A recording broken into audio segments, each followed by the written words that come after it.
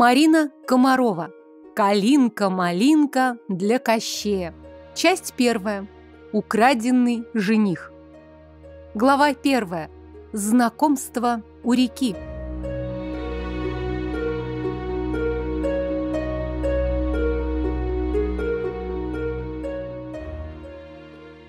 «Может, лучше поцелуешь, красавица?» — хрипло спросил он, опаляя кожу дыханием. Так близко, так самоуверенно. Чуть потянись, и можно коснуться губ, и... Я с удовольствием залепила ему пощечину. Получилось так звонко и смачно, что аж сама порадовалась. Он отпрянул, в глазах сверкнули лиловые молнии, а глаза-то ничего, светло-серые, будто небо осенью, но не грозовое, а просто затянутое тучами, за которыми прячется солнце. Да и сам весь хорош, будто с картинки сошел. Статный, плечистый, ладный. И неважно, что одет в простые штаны и льняную рубаху, расшитую черными узорами. Кстати, странно, кто вышивал-то?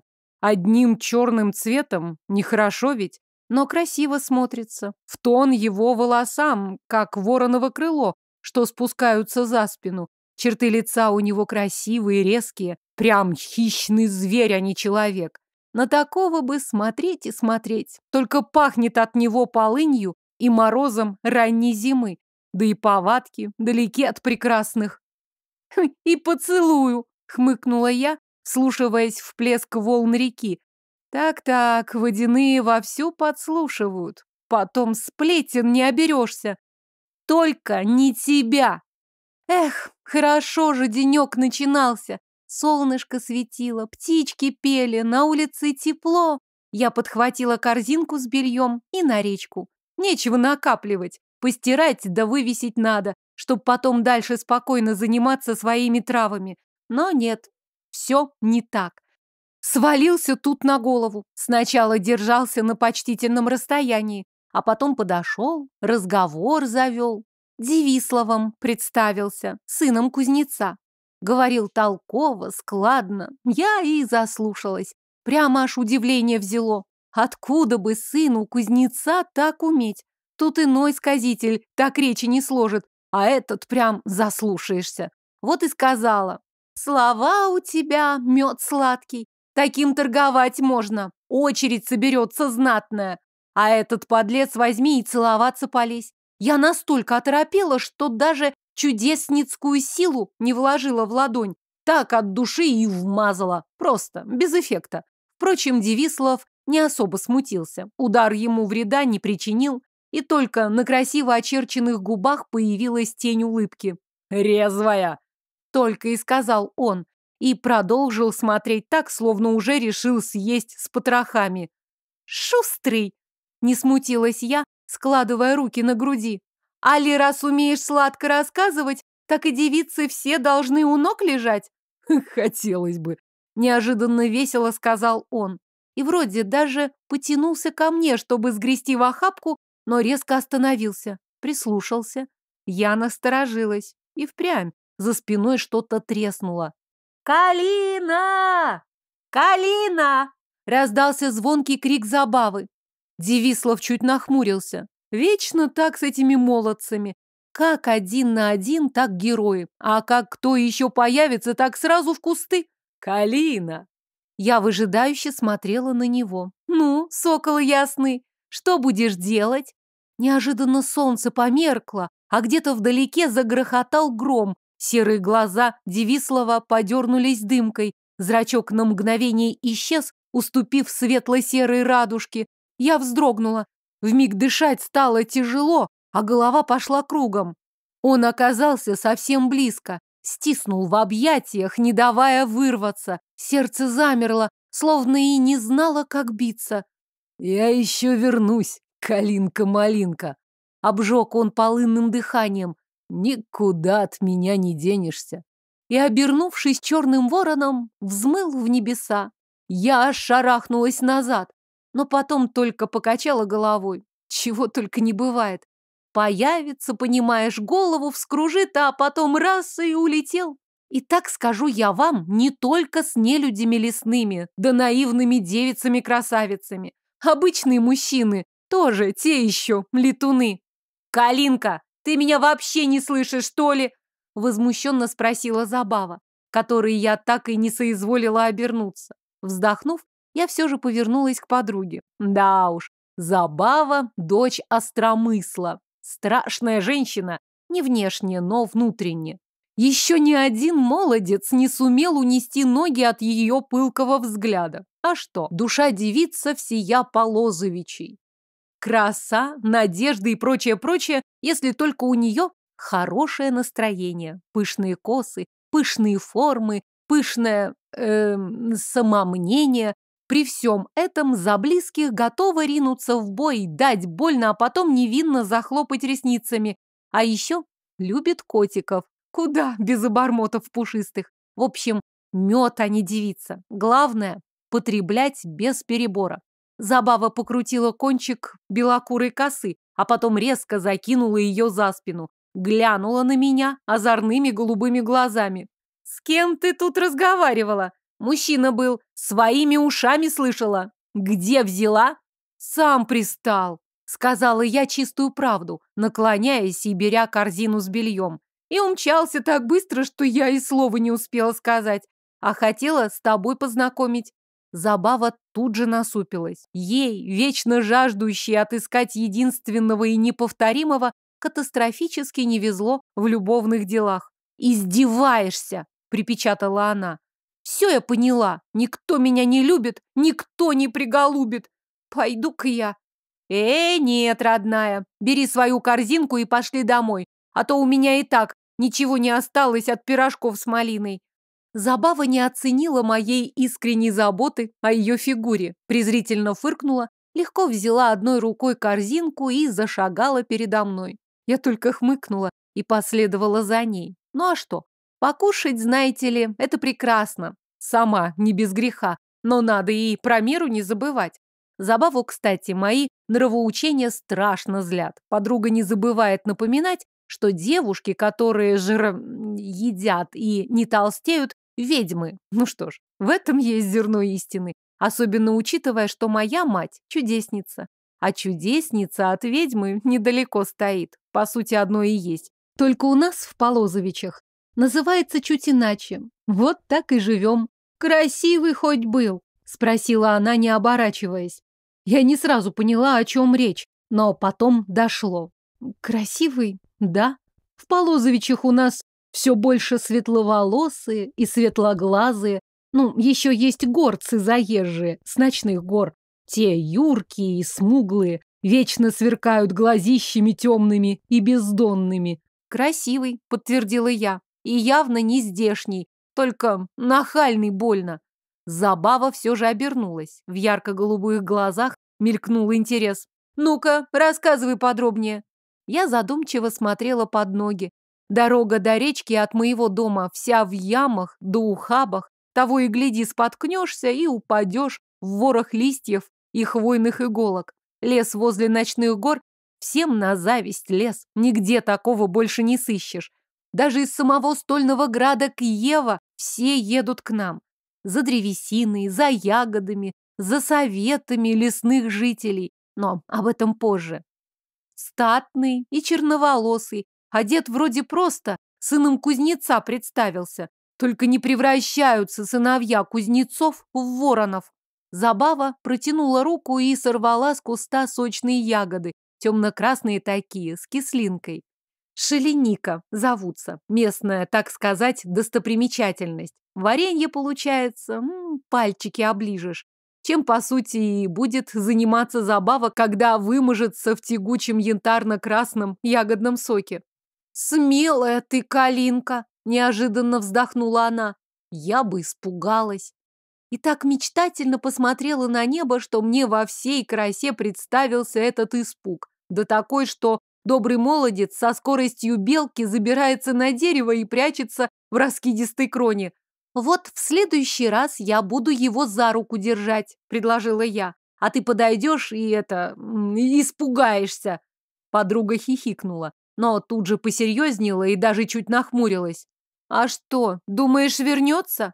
Я пожала плечами. Хотя последние слова Девислова помнила очень хорошо, да и стальную решимость в светло-серых глазах. Этот вернется, точно вернется. Такие от своего слова не отступаются. А касаемо страха, часто в лесу встречаем то горцев, то дровосеков из соседних деревень, то купцов. Ну и не люди ходят, это известное дело. Поэтому я ни капли и не удивилась, когда Девислов обернулся вороном. И не особо испугалась. С моей-то силой не каждый осмелится сделать плохое. С виду хоть и не богатырка, да только не внешность главная. Вернется, вслух сказала я, осознав, что забава подозрительно щурится. «Ай, Калинка!» – протянула она. «Вижу, пришелся тебе по душе». Я сделала вид, что не понимаю, о чем она. Впрочем, Забава считала, что по душе мне каждый второй молодец, поэтому удивляться точно не пристала. «Прибавь шагу, болтушка!» – хмыкнула я. Забава только фыркнула и прикрыла рот ладошкой, чтобы не расхохотаться в голос. Однако, заметив мой взгляд, спешно зашагала вперед. Правда, я сомневалась, что подруга искренне раскаялась в своем поведении. К Полозовичам мы вышли где-то через полчаса.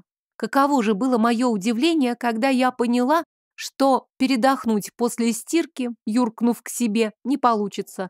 Возле дома собралась толпа. Все шумели, жестикулировали и явно не собирались расходиться. «Так», – протянула Забава, останавливаясь возле дуба, растущего неподалеку от моего забора. «А тут у нас весело. Вроде ж уходили, спокойно было. Или ты знаешь что-то, чего не знаю я, подруга?» «Ничего», – честно ответила я, считая собравшихся. «Человек под пятнадцать наберется, не меньше. Вот и сходила, постирала. Явились к чудеснице. Опять какая неприятность приключилась. Вздохнув, я направилась к дому, кивком дав забаве знак идти за мной. Разберемся, не в первый раз. Правда, жалко, что спокойно не пообедать, ведь шум же подняли. Матушка дорогая. Его он топчется, полозовчинский староста, Микула Роденинович.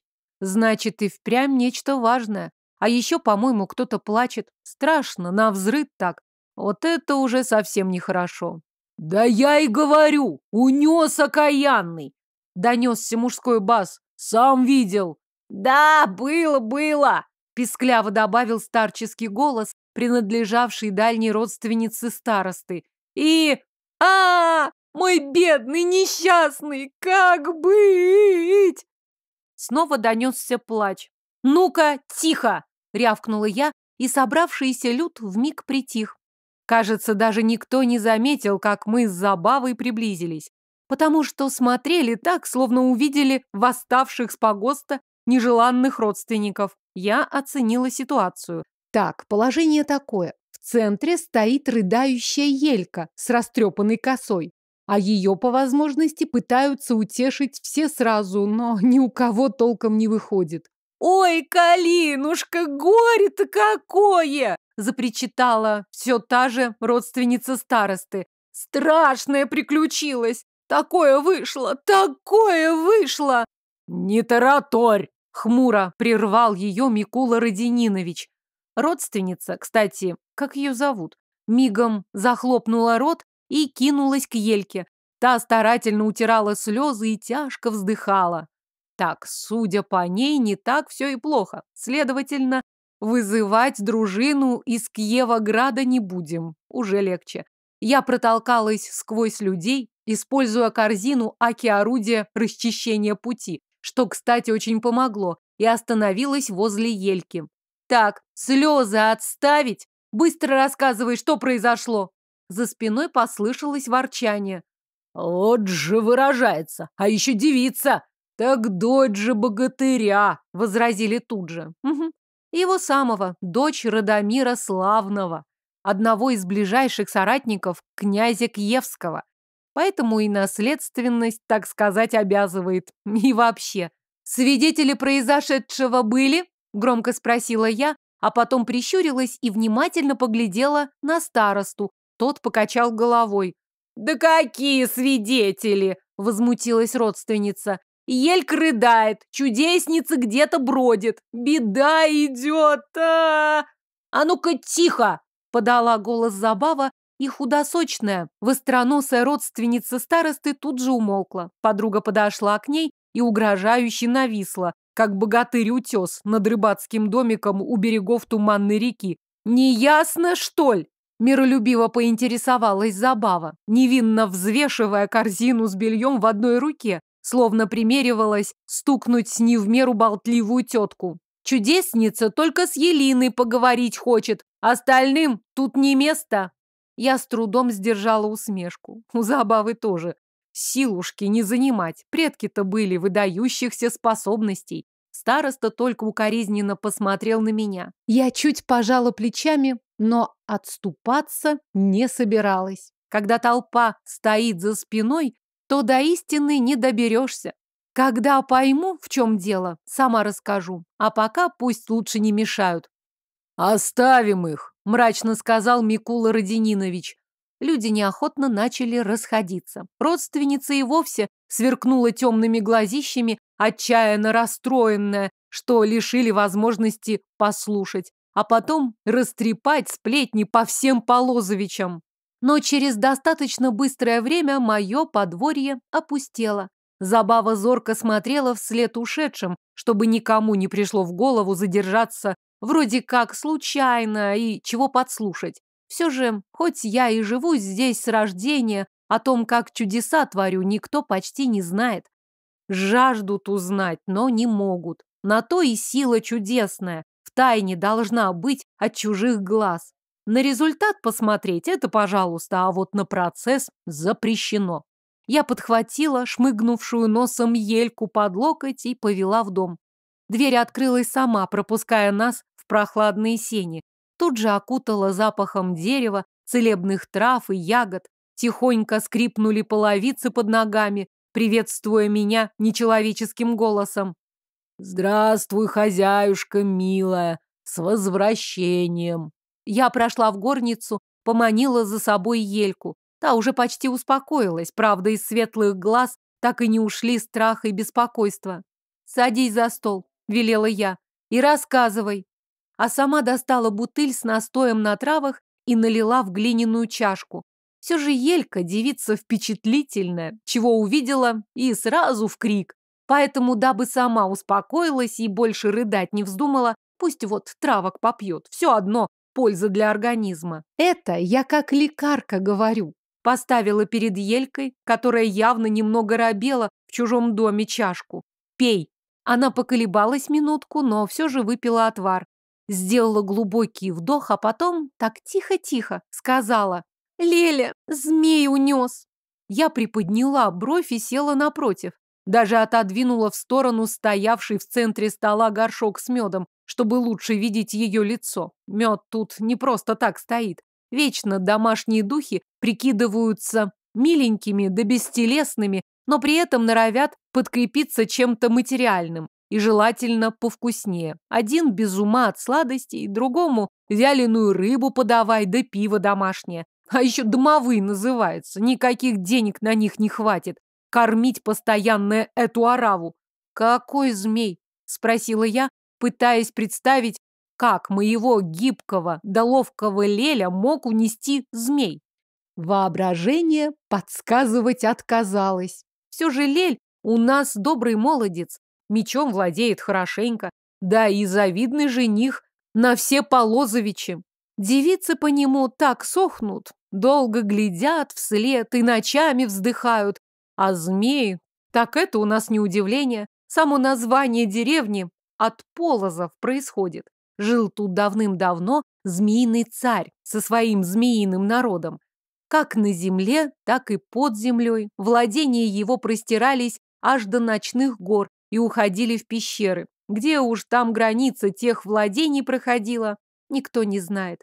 Да и не узнает никогда. Одни лишь сказители ходят от деревни к деревне и рассказывают всякие холодящие кровь истории, что однажды царь вернется, потому что не простил он нашим богатырям многого. Что именно, тоже неизвестно.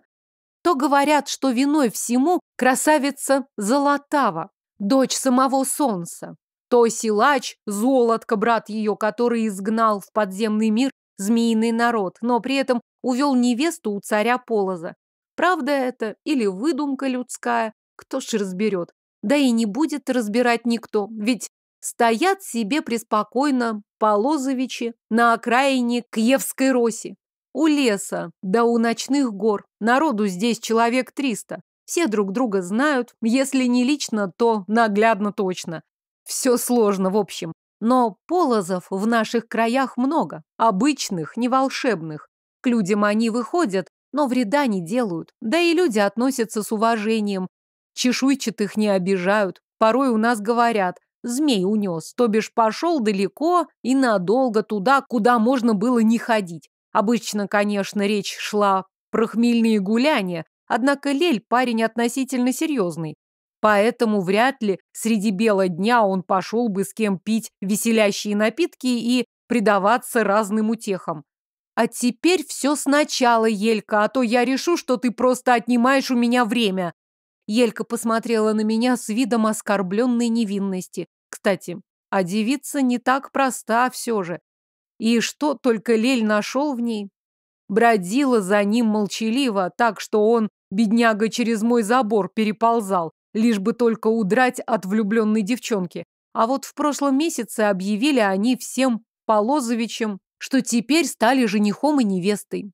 Радость Ельки было не описать словами. Крепость пала. Правда, немного не та. Лель отказывался называть причину, а Елька висела на нем почти все время, не давая нормально пообщаться. Конечно, со мной ей не тягаться. Опасалась, что уведут ненаглядного.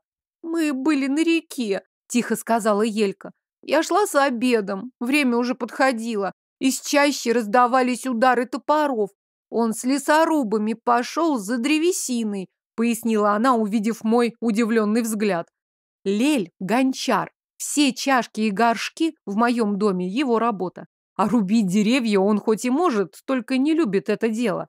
Матушка Леля из лесных дев родом. Они очень трепетно ко всему живому относятся, поэтому, чтобы он взял топор да влез. Однако Елька не обратила внимания на мое молчание.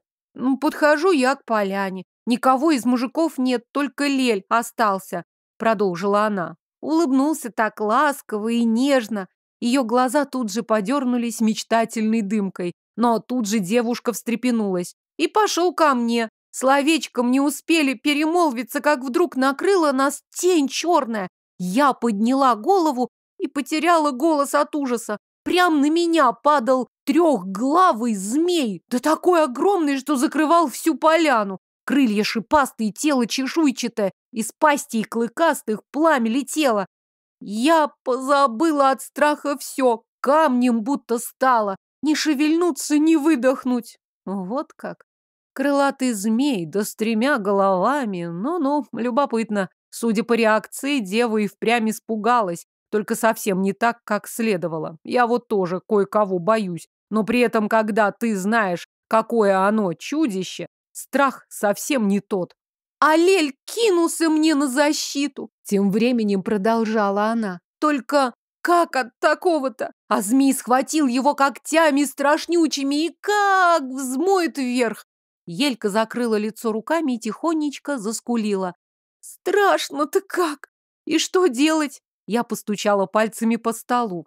Звучит странно, только у нас всякое может быть. А о нелюдях и явлениях странных у нас положено докладывать чудеснице в первую очередь. А она уже говорит со старостой. Только хватило ли Ельке ума не порыдать у кого на плече, пока до меня добралась? Заставив ее выпить без остатка успокаивающий напиток, я выпроводила девушку домой, при этом наложив на нее легкое заклятие, чтобы кошмары не виделись, да разговаривать о случившемся не хотелось, а то мало ли. Забава молча проводила ее взглядом, стараясь сдерживать истинные чувства. Какое-то время подруга тоже была влюблена в Леля, однако это скорее было «все побежали, и я побежала». Влюбленность и очарование сошли на нет, а вот дружеские отношения остались. Только Ельку Забава не взлюбила сразу и скрывать это не особо старалась. «Такой пигалец и такой лель!» Приворожила же, как пить дать. Ну подумай, Калина, чего он так? Бегал, бегал и тут согласился. Может, решил отдаться в цепкие ручки самой настойчивой? Хмыкнула тогда я. Все же Лель еще тот прохвост. Да девица охоч так, что словами не описать. Правда, расставаясь со своими любушками, поступал по чести. Никого не обижал и готов был отвечать за свои поступки. Стоило только Ельке скрыться, я поманила Забаву. Пошли. Забава фыркнула и вошла. «Ну, что стряслось?» Спросила тут же, едва оказавшись на пороге. Я вкратце изложила историю Ельки. Забава только поморщилась и задумчиво заглянула в катку с квашеной капустой, словно сейчас это было важнее всего. «Рецептом поделишься?» – невозмутимо сказала она. «А то со спасением мира поесть некогда, а у меня праздник на носу, гостям надо закусок предоставить». Я сложила руки на груди. Нет, забаву не изменить. Но в то же время у нее есть особенная чуйка на неприятности. Следовательно, раз она не прониклась рассказом Ельки, следовательно, ничего страшного не случилось. «А капустка-то хороша!» — донесся сверху хриплый голос. «Чудо прям! Я вчерась отведал, так прям, так хорошо стало, слов нет!» «Хороша, да!» — пробасили ему в поддержку откуда-то справа. «Хотя неплохо бы ягод добавить. Так кислее и вкус чувствуется лучше. Я закатила глаза. Забава постаралась сделать вид, что ничего не слышала. Два прожорливых домовых, которые считают, что она человек свой, это наказание. «Совесть у вас есть?» – ехидно осведомилась я. «Нет, хозяйка», – хором ответили они. Забава похлопала меня по плечу. Твои Тишка и Мишка – это еще не беда, а вот мой Кузьма Мстиславович – серьезно, старый, самоуверенный и всезнающий, и все время учит. Хорошо, хоть они ей на глаза не показывались. Все негоже щеголять перед чудесницей или ворожкой. Потому, слава богам, обходились только разговорами. Домовые захихикали, мне же ничего не оставалось, кроме как кивнуть.